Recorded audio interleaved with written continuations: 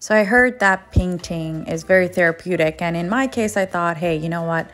Let me paint what I know the best, or that I don't know the best, is myself. So I decided to do a self portrait, starting with, of course, your skin. And getting the color was very hard, just like when I'm trying to find my foundation.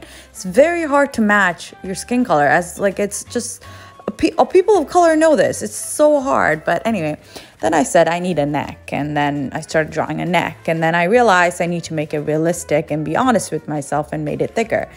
And then I was like, you know what? What's that? Neck without some shoulders. And I try to draw these weird space pad, like a shoulder pad weird thing, galactic. And I just kind of went with it. You know what? I, I kind of went with it. And I drew some nose and added some like highlights, you know, separated my chin, put in ears, and and then you know what? I had to jump to the hair because I do not look good without hair. I need the hair. Okay, I went I went with the pixie cut before, and I look like a hot mess. So I decided to okay, I am going to paint my hair and so you know that's that's gonna save this painting. It's, it's gonna save it. So i started drawing my hair and it's not really hard to get because i pretty much have a pretty basic hair you know. I don't have no fancy hairstyle so it was not that bad. And i decided you know what?